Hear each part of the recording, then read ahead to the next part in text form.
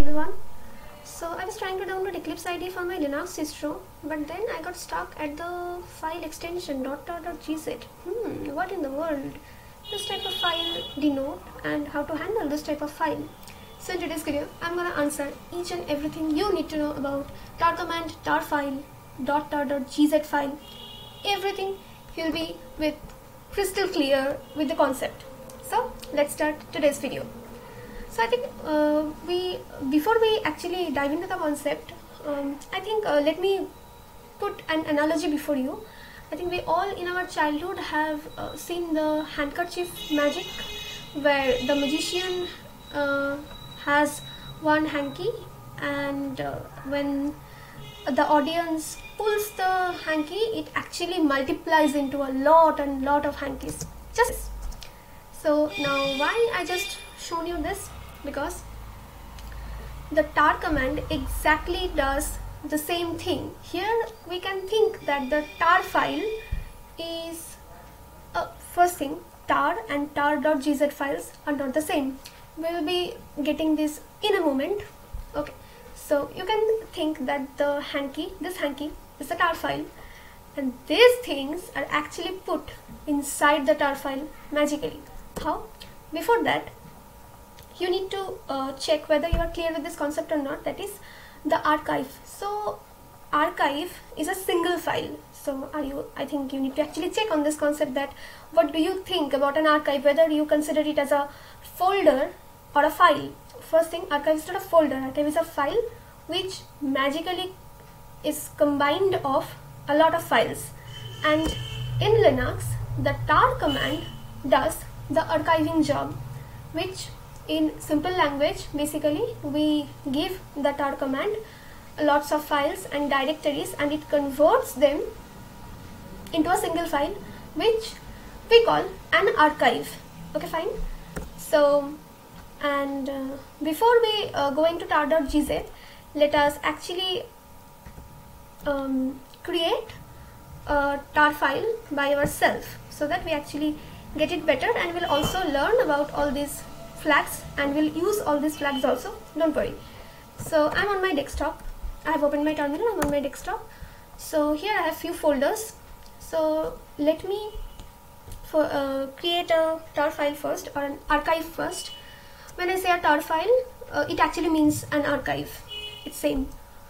So let me uh, for create a tar file comprising the mark sheets you can see that the mark sheets directory has this much files and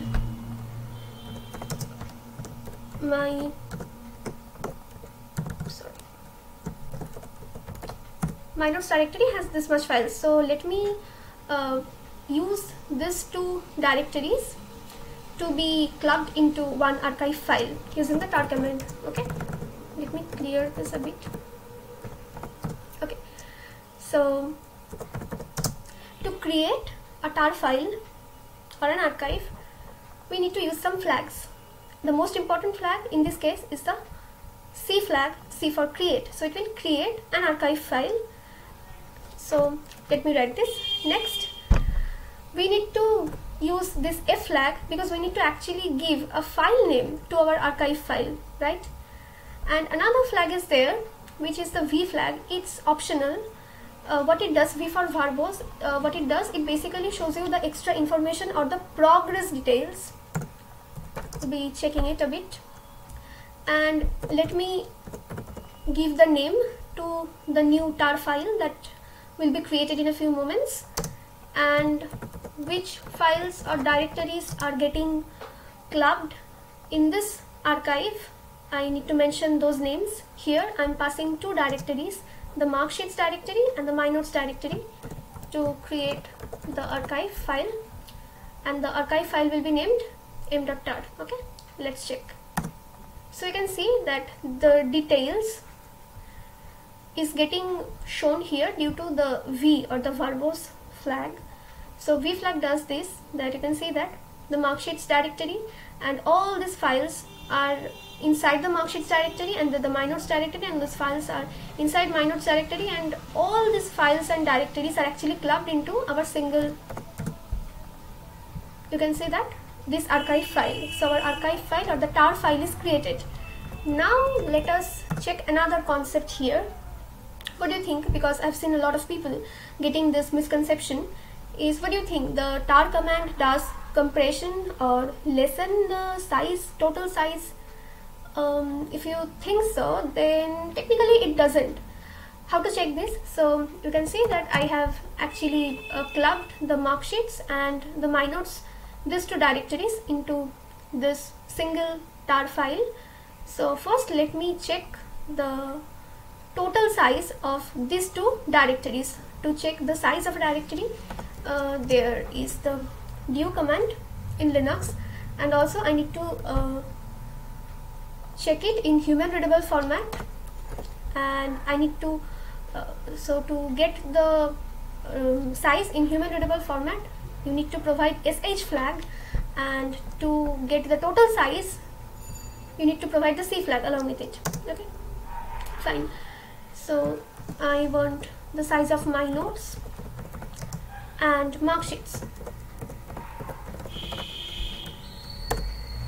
so you can see that the total size of these two directories are 16 MB okay.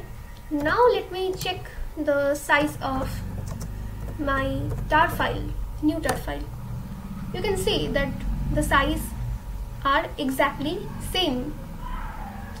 So technically tar command doesn't lessen uh, or compresses the files and directories we make uh, the archive of so now comes the second uh, extensions uh, part. Why this dot gz so gz is for compression. Now since we have seen that the tar command doesn't compress by default so to perform further compression we need to rely upon some external uh, compressing utility programs like gunzip or xzip available in unix. So gz is for gunzip and I'm gonna use the same. So if I want to sorry. Oops. yeah. So now I'll be compressing this m.tar file and m.tar.gz file will be produced and the size will be definitely lessened because we have applied compression over this archive file okay? So let's do that. So now a new file will be created. So certainly along with tar command we'll have to use this c flag. And since we'll be applying compression so we'll have to use this z flag because z flag performs both compression and decompression okay? So cz and if I really want to see the progress we can use this v or else I don't want to see the progress so I'm using the if command uh, if uh, flag because I need to leave a file name to the new uh, compressed archive file and I'll be um, giving the name m.tar.gz okay from the m.tar file okay. So this is the source file and this will be the destination file okay and you can see that. So here as I haven't used the v flag so the progress is not shown unlike before. And if I have used v flag here then the progress would have uh, been certainly shown. Now I can uh, use the uh, list uh, command to list. And you can see that the new uh, compressed archive file has been produced. And now if I check the size of this file certainly it will be lesser than 16 MB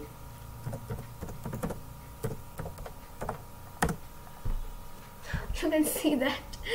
Okay. So now uh, we need to extract the compressed file. Just like here I need to after downloading this file I need to perform the extraction also here. So now we need to uh, know how to uh, perform extraction on uh, compressed archive file and then how to untar the archive file to get back our original resources files and directories that have been archived into a single file right? Okay. So you can see that now these are the files on my desktop and the directories. So let me remove some uh, directories. So otherwise the effect won't be visible here first let me remove the tar file because uh, during extraction this will be reproduced.